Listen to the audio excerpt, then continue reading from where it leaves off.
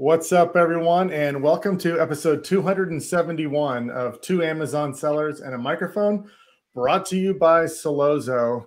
And uh, today, longtime friend joining us again, our friend brother from across the pond, right? I was just going to say, our, our good friend from across the pond, Ben Leonard. We've had you on uh, at least two times. Uh, yeah, is, yeah. Uh, Third time lucky. I'll, I'll try not to suck this time. no, no, you're always good, and we always love talking to you. And you know, we've we've spent uh, you know the last two episodes talking about exits, and you know, you, you sold your business, and then you started ecom brokers to help others exit out of their business. Uh, but we haven't really, you know, dived into your whole story and like we, you know, how to crush it in e-commerce, you know, and all the things that uh, the pitfalls and everything else. So we're really excited. We love getting people on and just diving into the story. Like, how did you get into e-commerce and, and everything else? But, you know, so I mean, obviously you're going to be a great person to talk to. We're excited about everything. So how are you doing, Ben? I am really well, thanks. Uh, there's been a whole lot of stuff happening. It's been great fun. I just got back from Seller Sessions Live, uh, which is probably the best e-commerce conference in the UK. Uh, that was great fun. I had the honor of speaking at it, which was which was uh, both nerve wracking and and awesome because there was a, the other speakers were all fantastic people that I really respect and admire. So to get the opportunity to speak alongside them was great, and it was a a fun weekend. And I'm now I'm just kind of getting back to reality. How how was that conference? I'm curious. Like, fantastic. Are we seeing more sellers actually co- going to conferences now, yeah. or is it still just a bunch of software providers and speakers? No, it was so good. So I've been to each seller sessions live. I think there's been four, maybe even five events now. And uh, yeah, this was the first one I spoke at. And you know what was so great is there's always a decent number of speakers there, like uh, sorry, sellers there. This year was just like seller-tastic. there was very few uh, service providers or aggregators. Sure, there were some service providers who had a booth, but it was all very like it wasn't salesy. It was like, you know, when people went during the breaks, when you went out to get a cup of coffee, there were people there with a booth. And if you wanted to go chat, you could, right? But the the actual audience was, you know, jam packed with sellers and legit sellers doing decent numbers who um, are building serious brands and interested in in learning serious content. It was really really good, and the atmosphere was great, and there were none of these sort of um, you know you get the in the past there's been situations not just at this conference at other conferences too right where an aggregator will kind of fly in under the radar and they won't use like their company email addresses to do it and they'll buy like tons of tickets for their entire teams. And when they when several aggregators do this suddenly you've got dozens and dozens of people who aren't even sellers. Mm-hmm. it's really frustrating. Or these like you know these kind of groups these these groups that are trying to get you to come in and spend you know thousands of dollars to join their special group and if you don't join their special group you're going to suck at e-commerce. Um, there weren't too many of those either so it was a really fun weekend. What did you uh what was your presentation about? Would you would you ch- uh, touch on?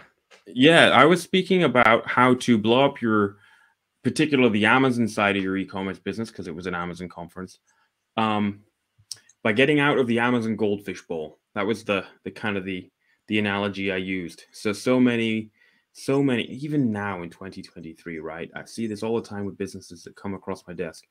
So many people who are building an e commerce business, A, they're not building a brand, and B, even if they are, they're stuck in this Amazon goldfish bowl because all they're doing is focusing on Amazon. So it's like if their business is the goldfish, they get a bit of fish food and then they're searching for the next bit of fish food. But if you play your cards right and you actually build a relationship with the customer and give them an experience after they bought the product, you're not kind of stuck in that cycle because sure, you want to acquire new customers. But if you've sold if I've sold a product to you, Chris, and you forget all about my brand, when you need widget B that I also sell, you know, you bought widget A, you're just going to go search on Amazon. But if I built a relationship with you, Dustin, and sold you widget A, then gave you tons of value and made you know, like, and trust me, when you need widget B, you're going to come back to my brand. Whether it's on Amazon or off Amazon, I don't really care. So that's the kind of stuff I was talking about. And at uh, Seller Sessions Live in particular, people want juicy marketing. So I was presenting some of my sort of juiciest, funnest stuff that I did with my first brand that made me do this, build like this sort of cult like following of fans who'd buy all my stuff. My competitors didn't, so I ended up, you know, leaving them behind, and that's what led to somebody wanting to buy my brand after several years. What are what are some of the things that you touched on? I mean, we've touched on this podcast about insert cards, QR codes, you know, emails. Yep. What's what's the thing that yeah. you found most value with? Sure. So I, I presented to uh, the the other analogy I presented, right? So it's the goldfish bowl, right? But the other one was this: uh, you got to eat your vegetables first, which is building a legitimate brand that looks and feels and behaves like a consumer packaged goods brand that has off Amazon assets, builds a relationship with its customers, is focused on a quality product first and a quality experience, right?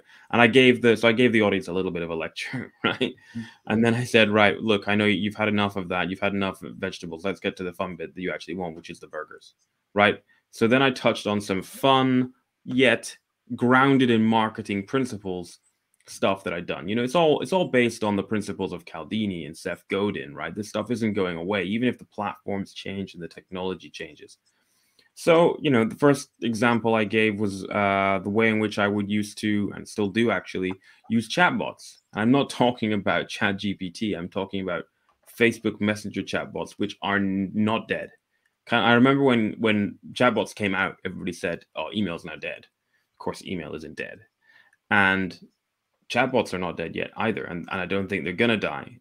So I gave an example of how you would buy my product within the product packaging or insert is a URL and a QR code. So the customer has a choice. It says, look, here's you want the user guide to use this product.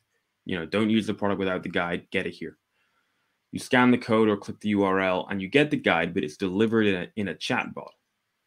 From there, you give the customer a link to grow. So now they're subscribed to your chatbot, right? So that's touch point number one, where you can build a relationship, market to them, send them valuable content, even, right?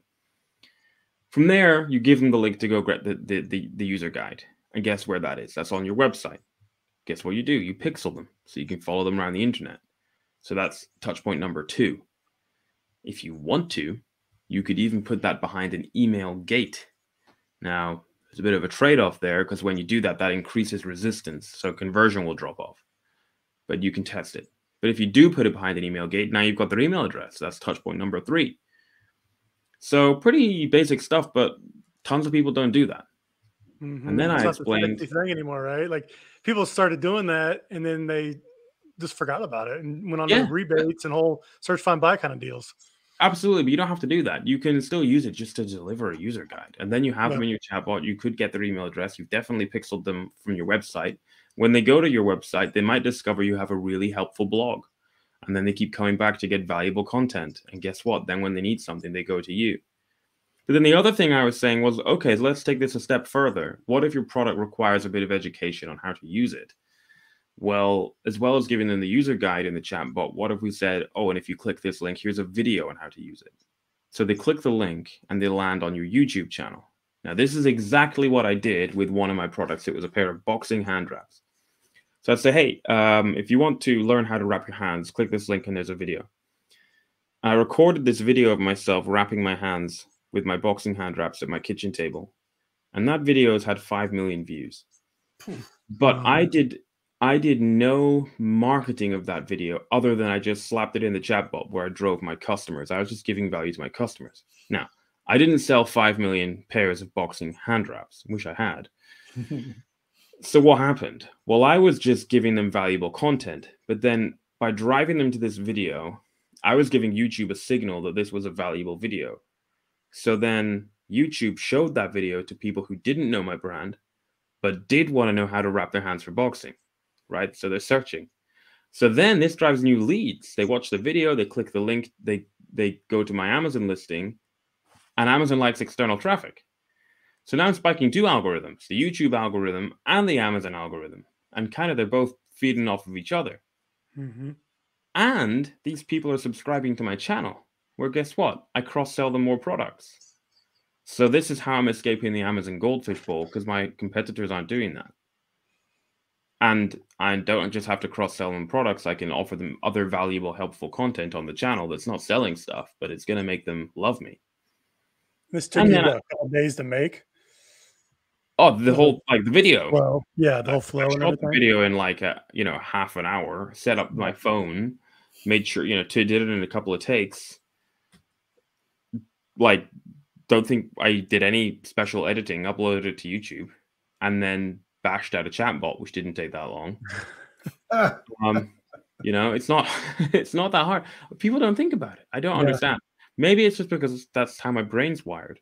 And then I was explaining, and you could go a step further, right? You could actually game the out YouTube algorithm even more by on your packaging or your insert or anywhere actually in your email marketing or chatbots, you can drive people to your YouTube channel and pretty much guarantee that they're going to subscribe. So what you do is you take your YouTube channel URL and you just append this little code to it. You just append question mark sub underscore confirmation equals one. And what happens is on desktop or laptop, when they click your the link, a little box comes up asking if they want to subscribe. And 99.9% of people are just going to click yeah. hmm And if they're on mobile, that box does not appear, but it is a deep link into um, the YouTube app.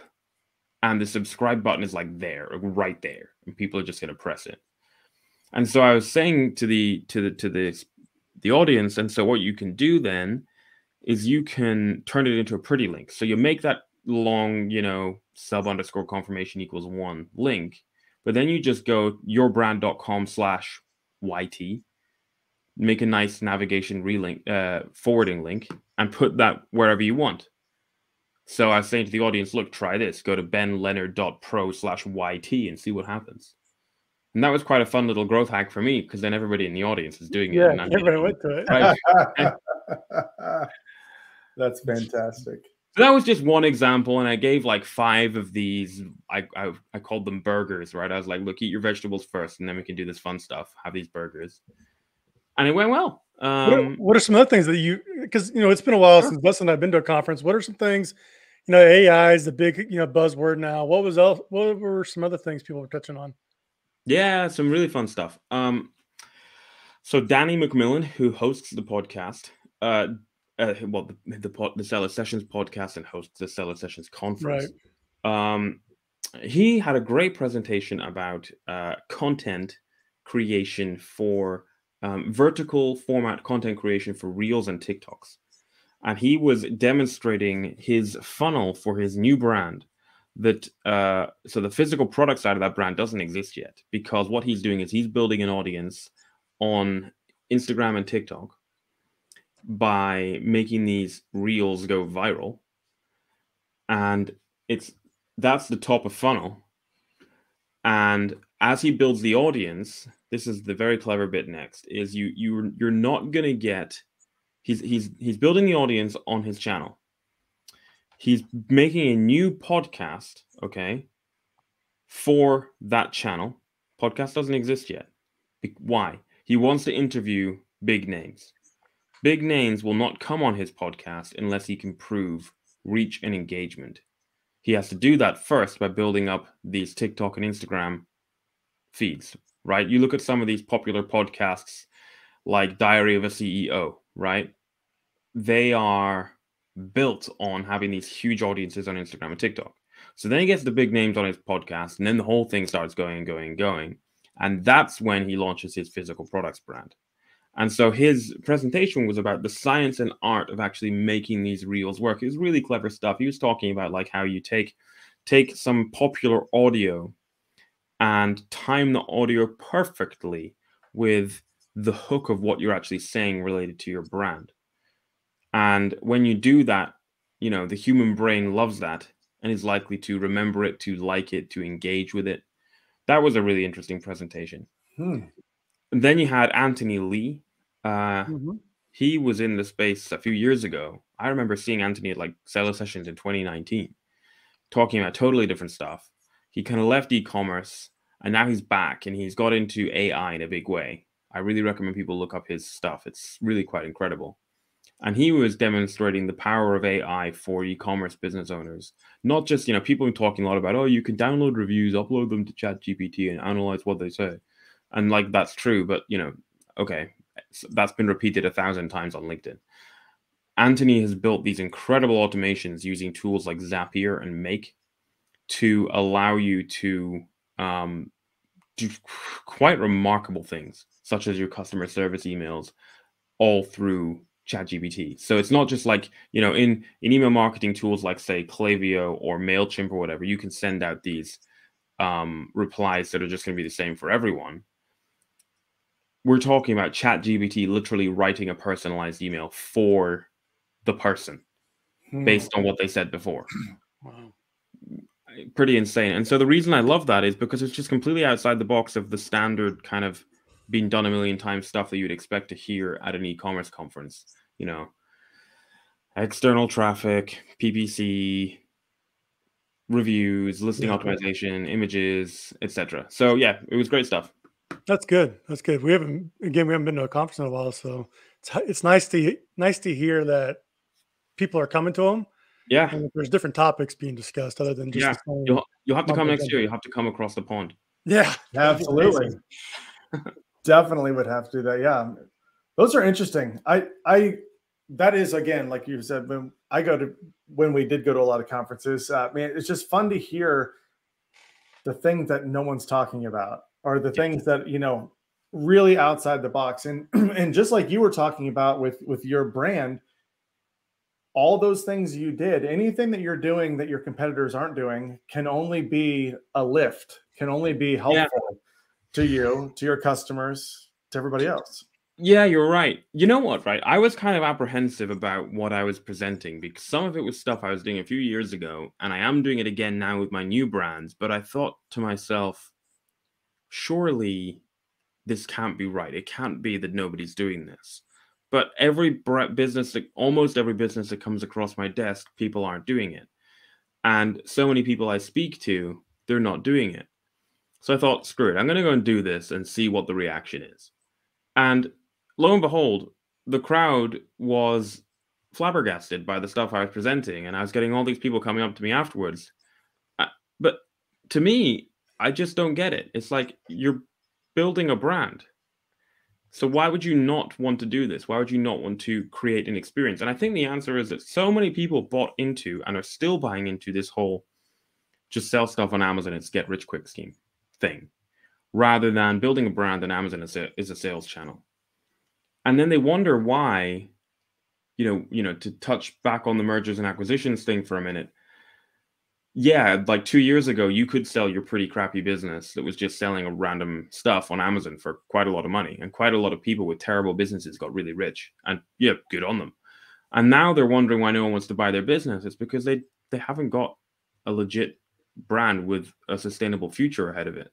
So people say, "Oh yeah, the bottom's fallen out of the um the M and A market in e-commerce, hasn't it?" And I'm like, "Well, that depends. Like, if you're mm-hmm. selling rubbish, then yeah, if you've got a great brand, then no, you can still sell your business for for a great exit. Well, for sure, and I like the aggregators fell into that trap by buying those brands, and then they were totally. getting burned on the flip side.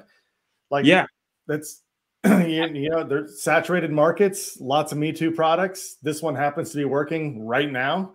Yeah. It's got good numbers. It's it's not. You're completely work. right. You're it's completely right. And, and, even even some of the brands that were like actually not that bad the problem that they faced was it was easier they bought it in conditions which were much easier and now amazon is way harder. It's harder to rank it's harder to get reviews.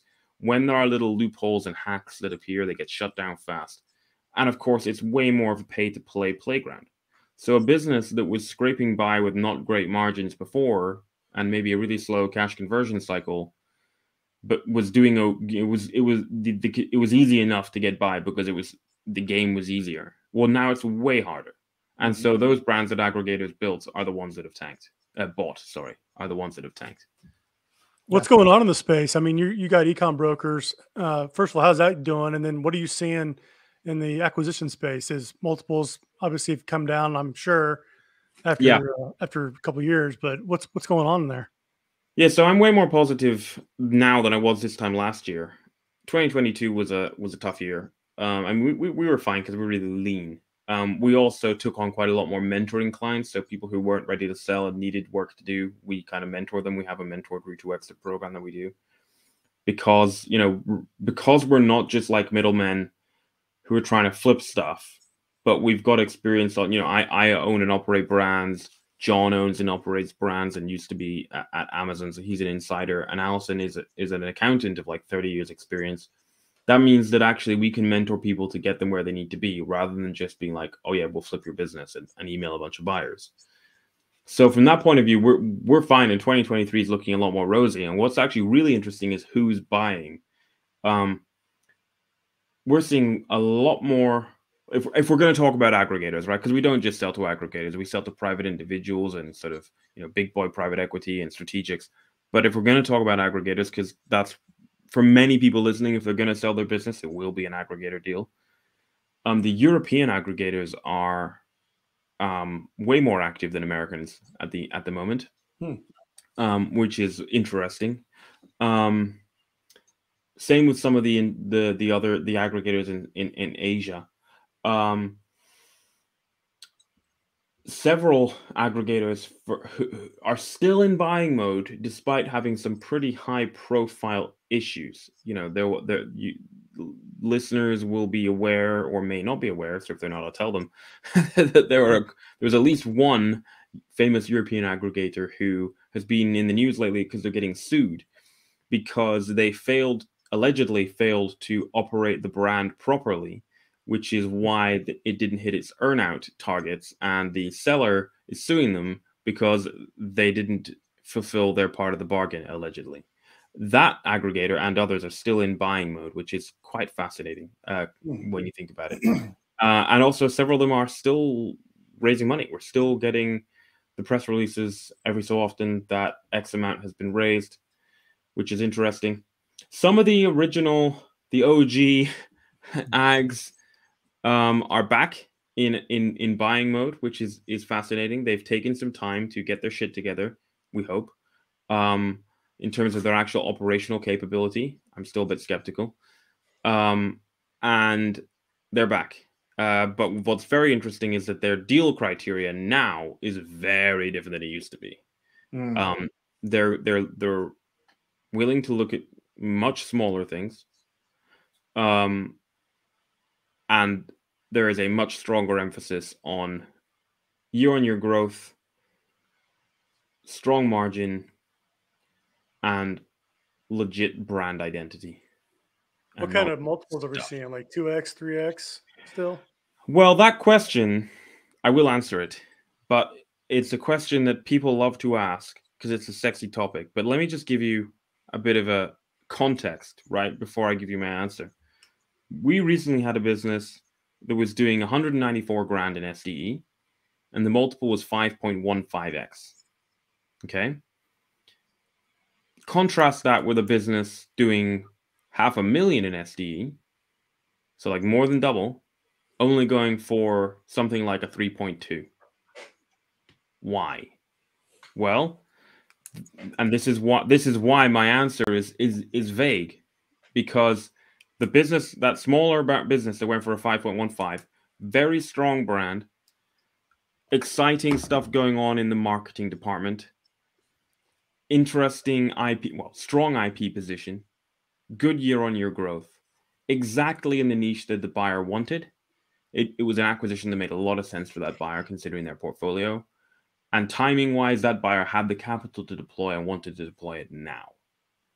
Okay. The brand with the higher SDE and the lower multiple, on the other hand, less strong brand, growth, not as um, steep growth opportunities not so attractive opportunities to expand the brand less attractive you, you get the idea yeah right? so a lot more than just looking at the numbers it's, it's way more, more, than just looking yeah. at the numbers that's yeah good. That's good to hear um it's and that's what happens when you go through a mature mergers and acquisitions process and t- instead of just saying i'm going to treat my business like a garlic press and list it on some website um mm so you know, then to but people are still going to be saying people will still be listening, saying, "But Ben, what are the multiples?"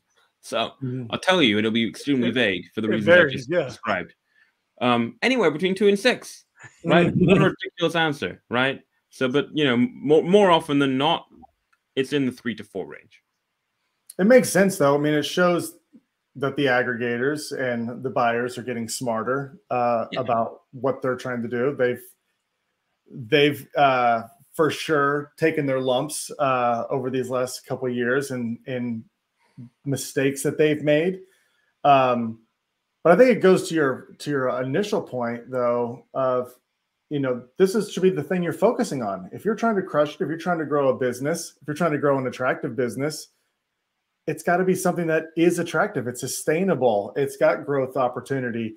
Uh, it's got the the tribe of customers built around it uh, that are that are looking to buy whatever the new product is that's coming out. That they're yep. getting more than than just a product. I mean, I know Chris can can uh, can say the same thing probably, and probably Ben you as well. But some some of the first products I launched were, but it was at a different time. I mean, it was early. It was 2014 when you, when you could do this kind of things. Yeah. But they were. It was like you know, do some product research, find something that's selling really well. Yeah. Put a logo on it, and look. And I there's nothing like the thing is, I don't blame people from that time doing that because it worked. You made you made a bunch of money. It worked. It's just that you gotta then evolve with the times, right? Um, mm-hmm. Um, something you just said, right, put off a light bulb in my head, and it reminded me of another example I gave at, at Seller Sessions, and I'm going to share it now because I want to make sure that people have actionable stuff as well, right? Let's give them some some kind of some some more burgers. So this is a fun one. Um, you should be encouraging your customers to post about your product on social. Perhaps your insert or your packaging encourages them if they post on social and uh, tag you, they'll be entered into a monthly prize draw or something, right? Probably you don't even need to do that because if you have a great product, people just post about it anyway. Because people love to post on social for um, because they want attention. That's why people do that. Mm-hmm. So then you and I was doing this with every customer who posted about us on Instagram when we even when we were doing like six million dollars a year in sale sales. I wasn't, my team was, but this does scale. People be like, oh, but Ben, this doesn't scale. It does. You just give your team templates and SOPs. Here's what you do get your team to search every day for people who follow you, so new followers, people who've posted your product and tagged you or used your hashtags, and message everyone who follows you, thanking them, engage them in a real conversation, comment on every post and, and make it an insightful and meaningful comment and message that person too and take 30 seconds to scan their profile and learn something about them and message them okay? And when you do that you will blow their minds because they're they've posted on on social because they want attention but they're getting attention from a brand that they just posted about. So let's say like if we're going to use my previous fitness brand as an, as an example and chris has just posted about i don't know he's just set a deadlift personal best with my weightlifting straps, right?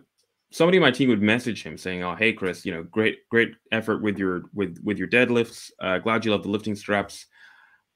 You know, and you've looked at his profile, right? And you can see that he was in San Francisco the other week, right? Oh, I saw your trip to San Fran and your post looked amazing. I love that place, right? You've paid attention to him. It's an authentic comment. It's not just some generic copy paste rubbish. And then you have a back and forth conversation and then perhaps you offer Chris a discount. He's mm-hmm. going to feel very grateful, a lot of reciprocity towards you. Perhaps you're going to go and ask him to leave a review, which you probably will because you've paid attention to him, meaningful attention, right? Not just generic nonsense, and you've you've given him a deal. That's fantastic. But then here's the bit that, that the light bulb went off in my head. You save that post to a collection, okay, as you can do in Instagram. All right. So let's say if you're selling weightlifting gear like this example, you'd save it to your US weightlifting fans collection. Three months later, you're launching a new weightlifting product. All you have to do is come back to your collection and open the post so you can see who it is again. Click on the person's username, open the DMs again, and pick up the conversation. Hey, Chris, how's your training going? Blah, blah, blah, blah, blah. Have a chat. By the way, we're launching our new weightlifting belt. Would you like to get it for half price? Of course he would. You give him the keywords, search, find, buy, track it in Google Sheets. 10 days later, you remember to go and ask for a review. Raving fans who will buy all your stuff, giving you super cheap launches that are guaranteed to have reviews that stick and guaranteed to get the keyword ranking that you want. it's just an absolute no-brainer because you're outside the goldfish bowl and you've made that relationship because you took the time to do it and your competitors who are just on the flat the hamster wheel trying to acquire more customers constantly are scratching their heads going oh i don't know how to launch my products because they haven't built a relationship I just sent a message to my designer. If you saw me type in, uh, we want to add tag us to our insert, and um, don't publish these ten thousand inserts yet until we put like some sort of like tag us, yeah, uh, on your photo. So Yeah, I'm glad you put that because I I've literally have an order going through right now, and I wanted to make sure that we had that. So Here's the next level hack that you can do, right? This is a really fun one. What if in the DM, instead of saying, oh, Chris, uh, if you want to get uh, 20% off anything on our website, here's a code, you could do that. But what if you, I, I gave you a digital product for free, but to get the digital product, you had to complete a checkout. It's free, like the, the checkout value is zero. Okay. Here's what, what I would do. Let's say, forget the weightlifting brand, because I got a better example now. Let's say I've got a knitting brand, right? And Chris loves knitting. So he's bought my knitting needles and posted about them on Insta, and we're, ha- we're we're having this chat in the DMs, right? And I say, listen, man, because you're awesome, uh, I'm gonna send you uh, a, my new digital knitting pattern for free. It's usually twenty dollars, but you can get it for free. Just go to this link, and the link is a direct link to cart on my Shopify site.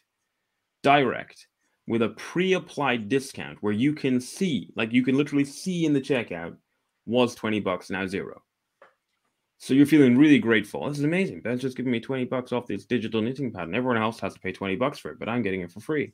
And all I have to do is pop my email address in. So now you've you you, you complete the checkout. I have your email address because you're basically my customer on Shopify now, but it was a free transaction. I can now market to you, do whatever I want, etc. All the, the fun things you could you can do with upselling and cross-selling emails and all that good stuff. But actually, if people use their brains and install a plugin on their Shopify site like one click upsell by Zipify, immediately after you've paid zero for that digital product, I can get you with a one click upsell paid post checkout upsell. So then you're feeling super grateful. You're like, this guy's just giving me this thing that was 20 bucks for nothing. He's trying to upsell me on this like $10 knitting wool carrier. Sure, I'm going to go and do it. Hmm. I like this. This It's just easy. And people don't do it. It is. I mean, listen, I mean, I can tell you, I mean, I know I can see people who are listening to this right now. It's the same way that sometimes I get, uh, like, if I go to a conference and I hear something like this, I'm like, oh, it is. That seems so easy and, to, and do it. And then it's just like, it just slips away. It's like you don't take the first step to integrate it and it just kind of Yeah. fades away or it just seems overwhelming. Yeah. Um, you know, and it's just, it goes back to the whole thing. It's just like, it's, if you do one thing at a time, that is easy. Just do Well- that one thing today. I just may. I actually now that I think about it, I, I didn't even think of this. Uh, there is a page where people can go and get all the tips in detail that I'm talking about here. There's like a handbook and actually a video where I talk about it. So people want to. The URL is um it's benleonard.pro slash SSL 2023 benleonard.pro slash SSL2023. If you go there, you can get a handbook and a link to a video where I explain all these examples. There's like there's like a WhatsApp one. Um there's a there's an example on how to what you should be you know another way to get out of the goldfish bowl.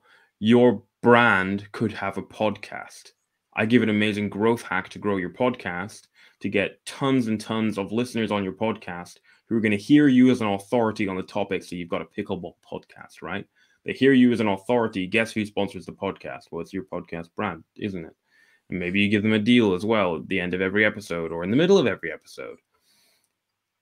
Your competitors aren't doing that. They're stuck in the Amazon Goldfish Bowl.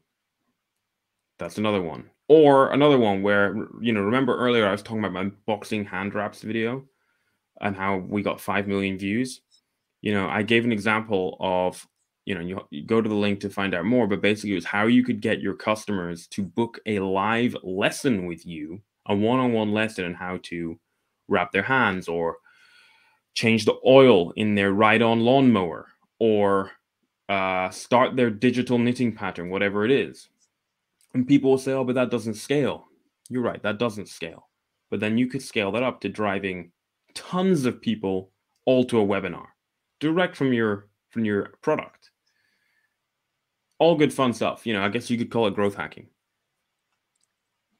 It's again, this is I love this stuff. And and this every the what came to my mind as you're going through this, and I'm I'm taking this back to uh, this you know budding entrepreneur who's wanting to start uh, a brand or start selling and i was thinking about what you're saying is like you know one of the reasons that you were able to more easily achieve this is i think is because you liked the brand you liked the products you were selling.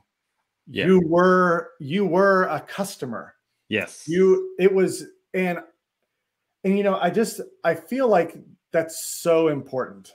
You're uh, if you don't you can't like who's going to be a better voice for your brand than you uh, if you are in love with the hobby or the product or whatever it is if you're just doing if you're just saying oh i found on helium 10 that jump ropes sell really well but you don't give a crap about jump roping you become it becomes difficult for you to create all this stuff you're doing you're 100% right you're 100% right. And you know what? It's funny, right? You, you just mentioned it's actually a story that's going in my book. Uh, I'm releasing a book in, in October. Uh, it's a bit far out, so we can talk about it properly another day. But you just reminded me of a little story there when you're mentioning checking on helium 10, right? And and in fact jump ropes because the first product I released was a jump rope because I did a lot of, of of of rope jumping, jumping rope, whatever, in my CrossFit training and my boxing training when I started my brand. And so I I placed my first order for like uh, 500, 500 jump ropes, right? Not not many. For a bit of context, when I sold my business, the, the final order for that product that I placed with my manufacturer before, before I sold it was for a quarter of a million of those jump ropes. Anyway, so I'd uh, I'd placed the order. It was coming on a boat, and then I'd been listening to all these podcasts and hearing about these tools that I should be using. And I went and checked all these tools and was immediately convinced that I'd picked a dud product and I shouldn't sell it. So I called Scott Voelker on the Amazing Seller. Oh, like on his website. I love I loved that podcast, right? Scott's a dude. He was the OG. Anyway, so on his podcast, he had this thing where you could leave a voice message on his website. Oh, yes, I remember that. He would he would like play it. So I phone up, and you can hear the fear in my voice. And I'm like, I think I picked a dud. What do I do? And he plays it, and his response is basically, "You'll be fine. Like it's 500 units. Slash your price and sell through your inventory if you need to." And in the end, of course, I didn't need to do that because these tools were BS because it was about building a brand that connected with my customers I'm providing a real experience rather than just trying to sell stuff. That's and funny. it's funny. I'm not saying these tools are useless. They're absolutely not. They they have a place in your toolbox. But you don't base your entire business on them. Yeah, you look at them different. I know I do, and I know Dustin does as well. Uh, like when you're building a brand, if a product fits within your brand, like just put it in there. Your customers are looking for it, oh, regardless oh, cool. of what the yeah. competitive score is or whatever. Exactly, exactly. Like perhaps there's a case for saying like your first product, right? Well, not perhaps there is. There is a case for saying your first product. I call it your keystone product. You'd be absolutely bananas. You'd be bananas, in my opinion, to try to launch a jump rope on Amazon now, right? Oh, sure. Or a particular sure. type of as your first product. But after you've built a legion of raving fans who love you and who you're DMing to launch your new products, for instance, uh, then you can launch a jump rope because they'll go and buy it. They don't want your competitors one. They want everything to be yep. your brand. They want all their knitting stuff to be your brand. If they're professional dentists, they want all their professional dentistry equipment to be your brand. Whatever you whatever you're into. Um, and when you um, get to that point, it's actually like a a sigh of relief because you can basically yeah. just launch anything absolutely to your customers. Yes, yes, and that's that's when all the grinding away to begin with becomes worth it.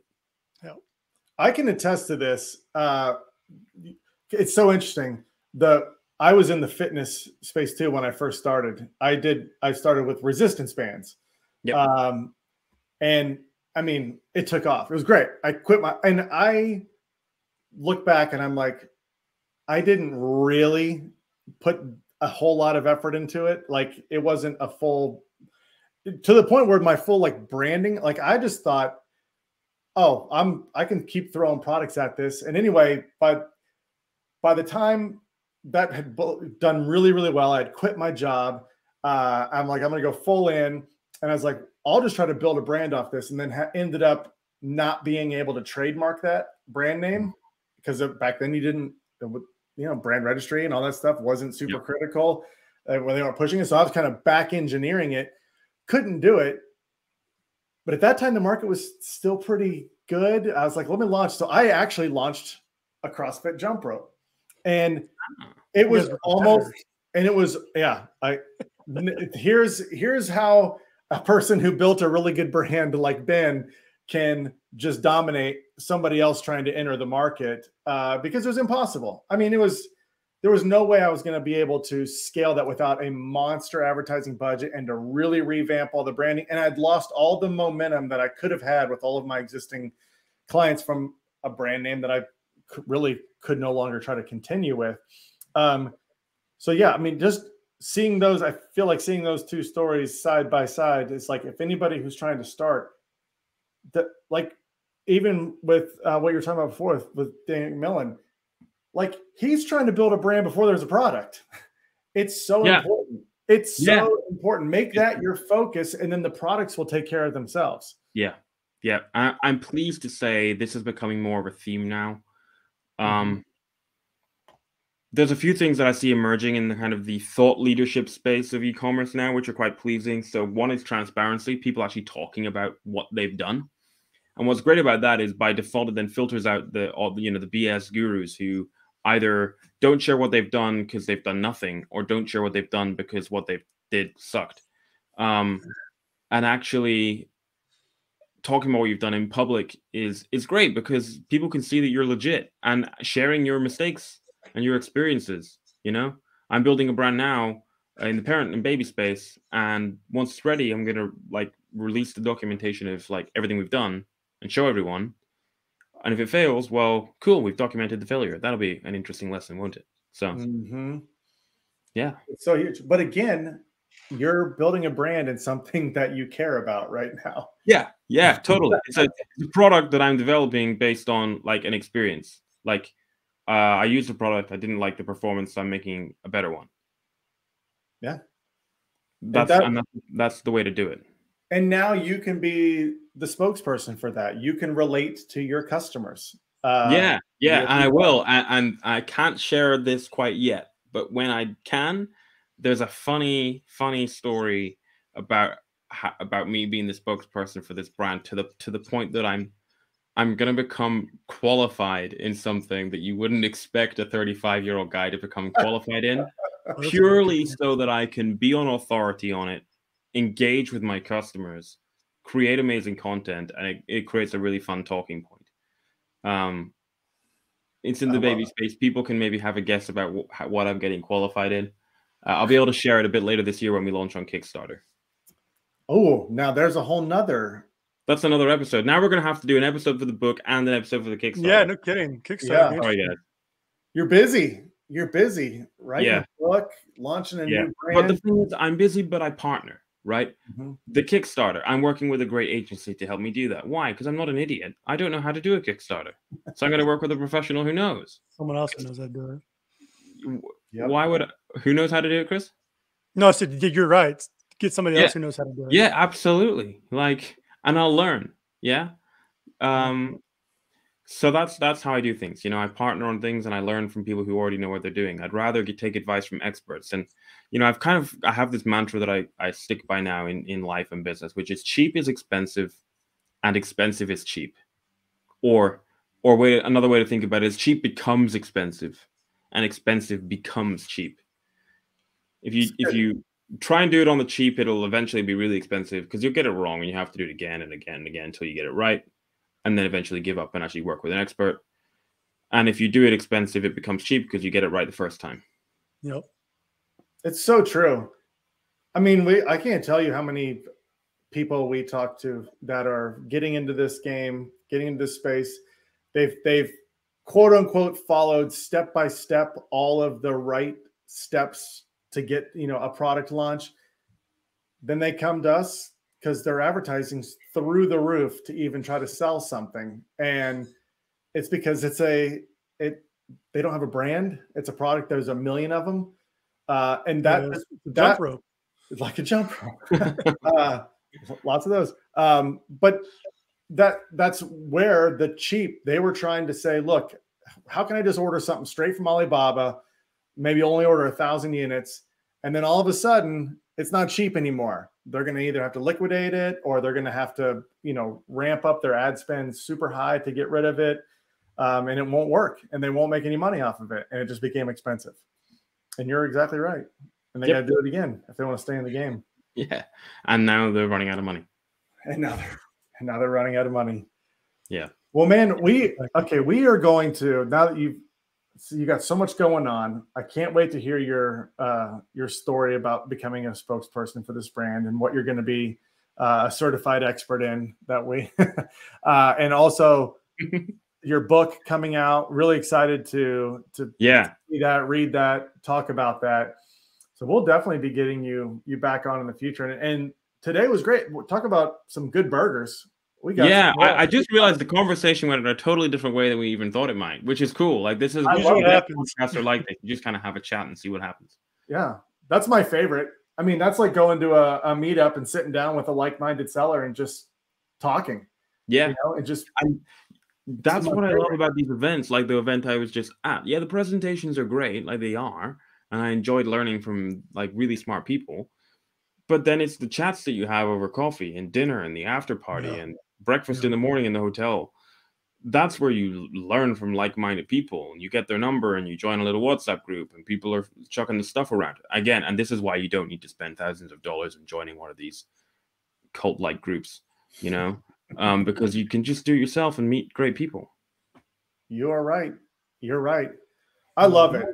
I, I love it, Ben. This has been great. Everyone, think about your brand. Use some of these burgers that Ben laid out and just build your tribe around your brand. If you're ever looking to exit, that's going to clearly help facilitate that, help your multiplier. Ben can help you with that too. uh, Yeah. Working working with Ben, but appreciate it, man. Thanks for taking the time to join us. We'll we'll definitely schedule to get you back on uh, when these next things pop up, your book and your your new product launch. So we'd love to talk about all of that and more. But Cool. Yeah. Thanks for having me. I really enjoyed this. Always fun talking to you guys. absolutely. Well, thanks, Ben. Thanks everybody for tuning in. We'll be back at this again soon. Have a great day.